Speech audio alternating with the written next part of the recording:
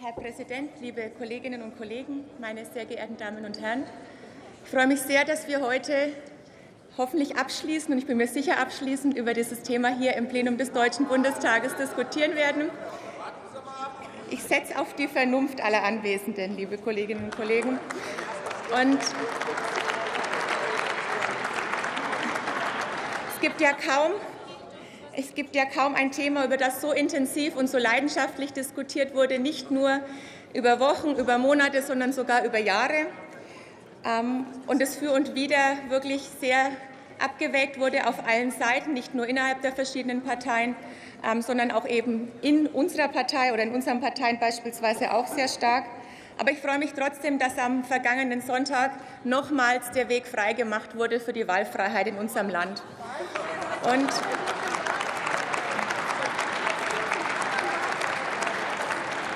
Frau Roth, ich weiß nicht, was Sie gegen Wahlfreiheit haben. Und deswegen erkläre ich Ihnen noch mal, wie wir uns das vorstellen, weil wir haben unseren ohnehin guten Gesetzentwurf noch mal besser gemacht. Wir haben zum Beispiel klargestellt jetzt in dem parlamentarischen Verfahren, dass der Besuch von Eltern-Kind-Gruppen, von PKIP-Gruppen und so weiter nicht zum Ausschluss des Betreuungsgeldes führt. Wir haben unsere Härtefallklausel noch etwas verbessert. Wenn zum Beispiel bei Krankheit, bei Tod, bei Schwerbehinderung es nicht möglich ist, die Kinder selbst zu betreuen, führen auch 20 Wochenstunden nicht zum Ausschluss des Betreuungsgeldes. Wir werden heute ebenfalls noch über ein Ergänzungsgesetz sprechen, sprich über Alternativen zu einer Barauszahlung. Und das ist auf jeden Fall auch schon mal ein wichtiger Schritt, der es Ihnen eigentlich nicht nur leichter machen würde und müsste, sondern unsere Ergänzungen müssten eigentlich dazu führen, dass heute mit einer ganz breiten Mehrheit des ganzen Hauses diesem Gesetz zugestimmt wird. Wir haben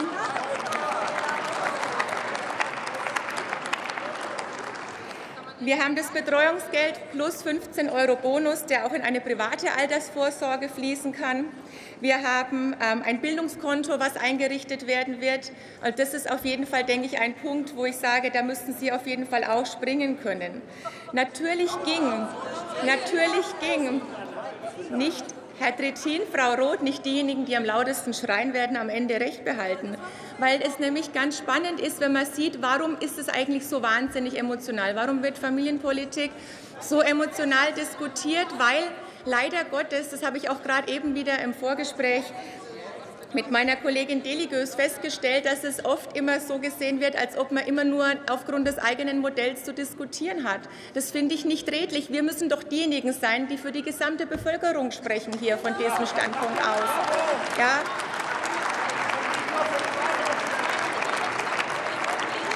für die Gesamtbevölkerung und nicht nur für diejenigen hier, die wie wir hier auch berufstätig sind, sondern für diejenigen, die vielleicht sagen, ich möchte mal einen Teil meiner Erwerbsbiografie zugunsten meiner Kinder unterbrechen. Dass sie alle ein anderes Lebensmodell haben, ist doch unbenommen.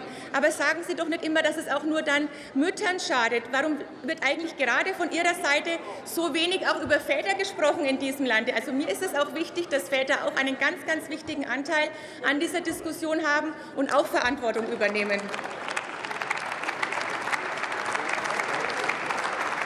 Und man sieht ja ganz deutlich, dass der Streit über das Betreuungsgeld weit über die Frage hinausging und auch weit über die Frage hinausgeht, ob der Staat neben dem Geld für den Ausbau und den Betrieb von Krippenplätzen und Plätzen von Tagespflegepersonen, ähm, ob er da noch mehr tut an dieser Stelle, ob er auch Geld für diejenigen, die zur Verfügung stellt, die eine andere Betreuungsmöglichkeit wählen, die ihre Kinder selbst betreuen oder aber privat organisieren.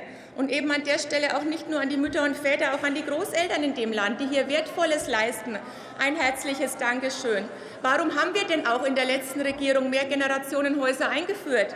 Doch nicht, weil mehrere Generationen schlecht für Kinder oder auch für Ältere wären. Ganz im Gegenteil, weil eben alle Generationen davon profitieren. Und Und wenn es nicht vorrangig um Geld geht, worum geht es denn dann?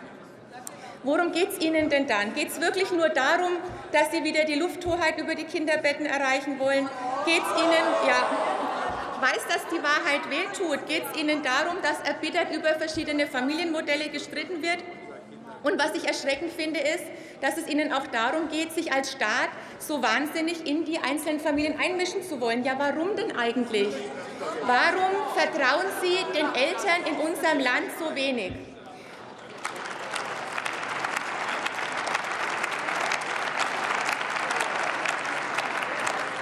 Und mich stört eben massiv dieses über einen Kamm scheren. Kinder sind unterschiedlich. Und für jemanden ist es vielleicht kein Problem, mit einem Jahr, mit eineinhalb für einige Stunden in eine Krippe zu gehen. Aber vielleicht ist es manchmal auch für ein anderes dreijähriges Kind wesentlich schwieriger, weil Kinder unterschiedlich sind und weil es nicht die beste Betreuungsperson gibt oder nicht die beste Betreuungsmöglichkeit für die einzelnen Kinder. Auch diese Unterschiedlichkeit fehlt mir bei Ihnen, weil Sie glauben, für alle Kinder ist die institutionelle Förderung der privaten Förderung vorzusehen. Das sehen wir nicht so. Und jetzt können Sie sagen, wir haben den Verfassungsrechtler, dann sage ich Ihnen, wir haben einen anderen Verfassungsrechtler, Sie haben den Verbandsvertreter, wir haben einen anderen, Sie haben den Psychologen, wir haben den Psychologen. Also ich möchte da kein, kein Kartenspiel machen, ähm, wo jeder seine Karten hinknallt und sagt, ich zeige dir meinen Verfassungsrechtler, zeig du mir deinen. Weil Befürworter und Gegner, glaube ich, gleichermaßen da ihre übergeordneten Experten aufgeboten haben. Aber für mich sind überwiegend andere Experten von ganz, ganz großer Maßgeblichkeit. Und das sind die Eltern, die wirklich schreiben, wie dankbar sie sind, dass wir uns für sie einsetzen. Und ich darf, Herr Präsident, die FAZ vom Mittwoch zitieren. In der FAZ am Mittwoch steht Zitat, die Mehrheit der Familien mit kleinen Kindern profitiert von der Hartnäckigkeit der CSU. Und das ist, glaube ich, ein ganz wahrer Satz. Wo wir wirklich stolz darauf sein können, dass wir uns an dieser Stelle nicht haben beirren lassen. Und ich finde es ja positiv, dass so leidenschaftlich diskutiert wird. Ich finde es auch so positiv, dass Herr Steinbrück heute sagt, mir ist das Thema so wichtig, da gehe ich in die Bütt als Familienpolitiker der SPD, ganz hervorragend, ähm, dass Sie sich auch dieser intensiven Diskussion anschließen. Ich freue mich auch, Ihnen mal bei einer Rede zuhören zu dürfen. Und es ist ähm, ein ganz, ganz großer Erfolg, den wir hier haben und den wir heute hoffentlich feiern können. Jetzt möchte ich aber, damit Sie das auch klar wissen, weil ich auch nicht möchte, dass diese verschiedenen Modelle gegeneinander ausgespielt werden. Wir sind, die wir fürs Betreuungsgeld sind, selbstverständlich auch für den Ausbau der Krippen in diesem Lande. Ja, selbstverständlich. Und da muss es nicht nur da müsste es nicht nur ein kleines Ohr geben, weil wir das auch waren, die als Bund gesagt haben in unserer Regierung, wir sagen nämlich, dass, wir, dass es uns so wichtig ist, dass wir uns einmischen bei den Ländern und den Kommunen. Wir stellen Geld zur Verfügung, weil wir ihnen sagen, obwohl wir nicht zuständig sind. Ja, das fällt ja Herr Schäuble einem Finanzminister auch nicht so einfach zu sagen. Ich gebe jetzt mal Ländern und Kommunen das Geld, weil uns diese Betreuung wichtig ist.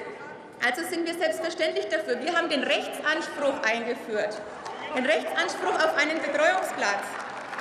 Und es ist doch ein ganz wunderbares Gesamtpaket, wenn ich auf der einen Seite sage, ich baue Krippen, ich baue die auch aus, ich gebe den Ländern auch ständig mehr Geld. Das sind ja keine Peanuts, wir reden ja über knapp 5 Milliarden, die wir da den Ländern zur Verfügung stellen.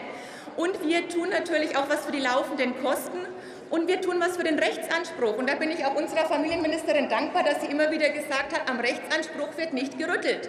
Nein, das wird es natürlich nicht.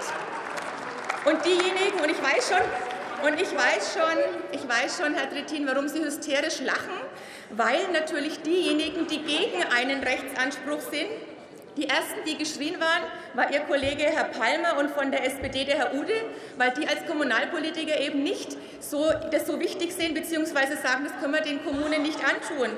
Es ist kein Geheimnis, auch für einen Herrn Ude in Bayern ist es kein Geheimnis, dass nach dem 31.07.2013 der 1. August 2013 kommt.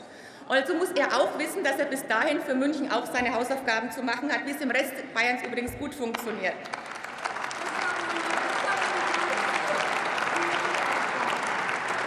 Und es ist doch auch spannend, wenn man sich jetzt auch wieder die neueste DJI-Studie anschaut dass den geringsten Fehlbedarf an den Betreuungsplätzen in Bayern da ist. Wir werden sogar bis zum 1. August 40 Prozent geschaffen haben.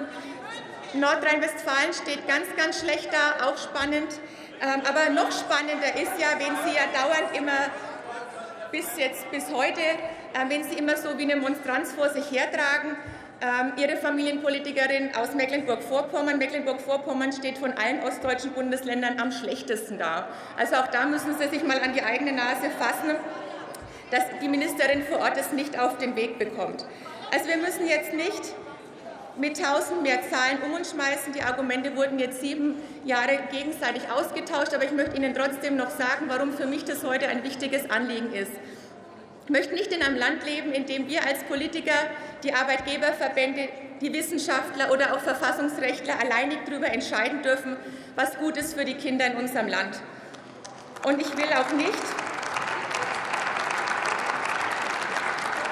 will auch nicht in einem Land leben, in dem Eltern Angst haben, Kinder in die Welt zu setzen, weil sie sagen, man traut uns nichts zu und es müssen Elternführerscheine gemacht werden und der Staat möchte die Erziehung übernehmen. Ich will, dass wir Eltern Mut machen. Und ich will, dass sich Eltern nicht dafür rechtfertigen müssen, welches das richtige und welches das falsche Modell ist. Das richtige Modell ist immer das, wenn sich im Idealfall Vater und Mutter einig sind, dann ist es auch das Beste für diese Kinder. Also stimmen Sie heute bitte pro Mündigkeit und pro Wahlfreiheit, pro Betreuungsgeld. Vielen Dank.